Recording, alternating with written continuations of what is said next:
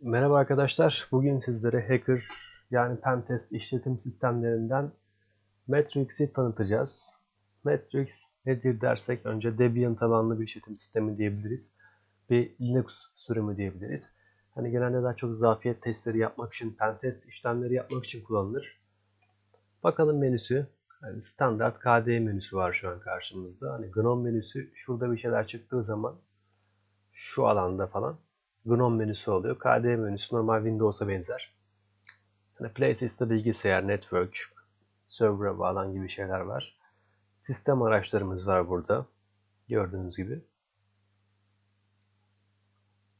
Terminal editörlerimiz falan var burada. Hani basit Bluetooth araçlarımız, e, klavye ayarlarımız, dosya sistemlerimiz, disk analiz araçlarımız, root terminalimiz ve terminal editör de varmış burada.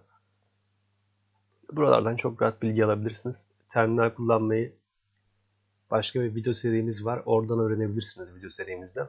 Yani çok zevkli de terminal kullanmayı bildikten sonra. Ama öğren bilmiyorsanız eğer öğren öğrenemediyseniz daha biraz sıkıcı gelebilir size. Ardından Matrix'in kendi işine giriyoruz. Yani burada neler var derseniz hani DNS için DNS taramaları için kullanılan programlar var. Burada web ve HTTP trackler var. Ardından Dradis Framework var. Dradis Framework ne işinize yarar?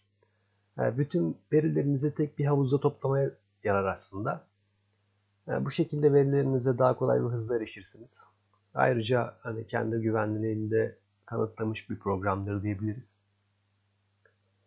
Yani güzeldir yani. Hani bir tek IP port ayarını yapmanız gerekir. Portta 3000 400 neydi herhalde öyle bir şeydi. İnternetten bakarsınız, IP port ayarınızı yaparsınız. Çok rahat bir şekilde işlemlerinizi halledersiniz orada. Ardından çeşitli scan araçlarımız var. Vidalia, Vidalia var. Hani Tor için. Bağlandığın zaman bu şekilde hani Tor'a bağlanma için konsol açar. Durduralım şimdilik. Kapatalım. Yani Tor ne işimize yarar derseniz Vidalia yani anonim olmanızı sağlar internetten. Bir yerde görünmezsiniz.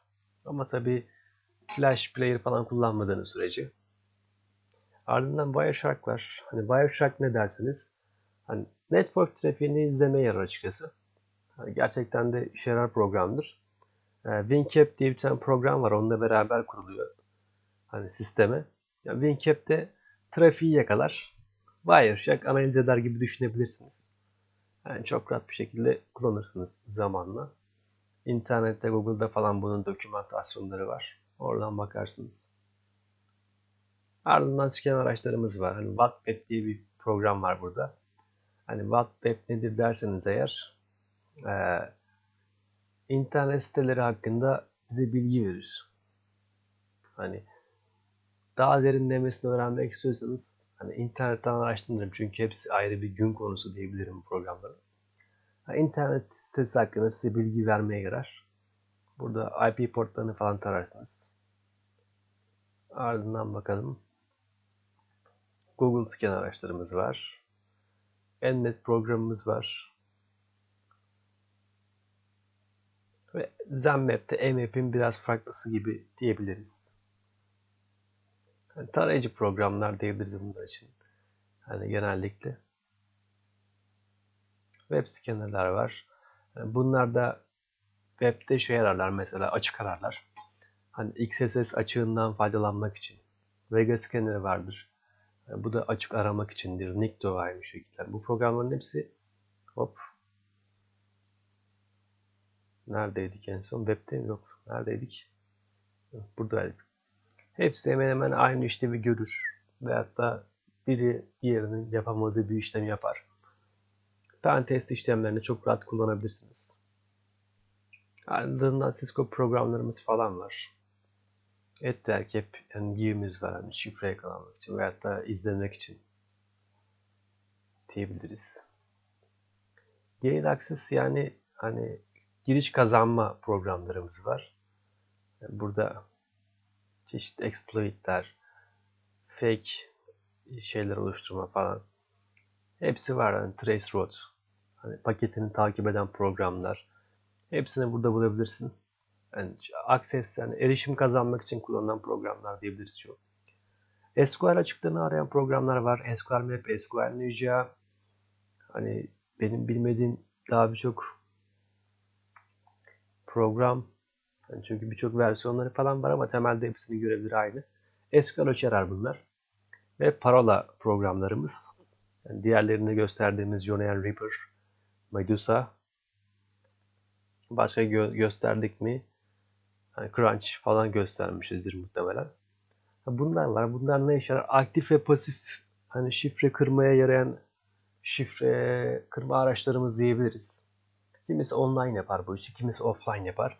Sözlük oluşturursunuz. Sözlükten beri atak yapmaya başlarsınız sürekli. Hani online olanlarda şöyle bir sıkıntı var. Atak sayınızı kısıtlı tutmalısınız. Yoksa hani güvenlik duvarı fark eder sizi engeller IP'nizi ya da IP'nizi değiştirmelisiniz sürekli. MAC adresini değiştiren programlarımız var. Şu ikisini ben de bilmiyorum.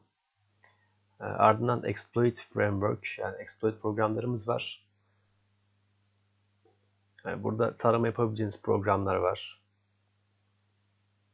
Yani Maltego nedir diyecek olursak mesela e, pasif ve aktif bilgi toplayan program diyebiliriz hani Maltego için.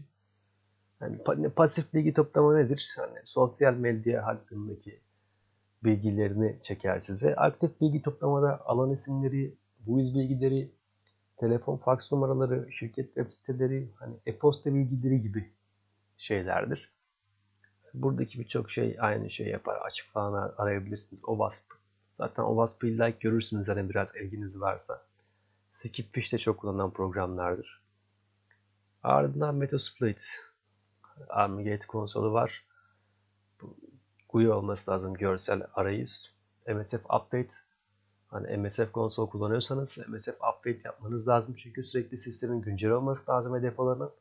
Bu da MSF konsolumuz. Paralasını istiyor. Şu an paralasını bilmiyorum açıkçası Matrix'in. 1, 2, 3, 4, 5, 6 olabilir. Matrix olabilir. Root olabilir. Tour olabilir. Ama MSF konsol çok önemli bir yer e, kaplıyor diyebiliriz. Yani çok önemli bir bilgi kaynağı bizim için. Inaguma var. Ardından wireless testlerini yapabileceğimiz için yapabilmemiz için daha doğrusu araçlarımız var. Hani firmware tracker, Wi-Fi radar. Yani şu an bende Wi-Fi olmadığı için bunları açamayacağım. Wi-Fi kullanımı en kolay olan Wi-Fi'dir. Yani Wi-Fi için konsolu açarsınız. Şöyle açalım hemen. sudo Wi-Fi olması lazım. Enter'ladığınız zaman hani karşınıza direkt açması lazım ama şu an açmadı nedense. Belki kurulu olmadığı için de genelde kurulu olmadığı zaman hani wireless'ta falan sıkıntı yaşayabilirsiniz. Ama kullanımı bu şekilde. Hani sudo Wi-Fi Bunda weblere hani WPA2 olmasın.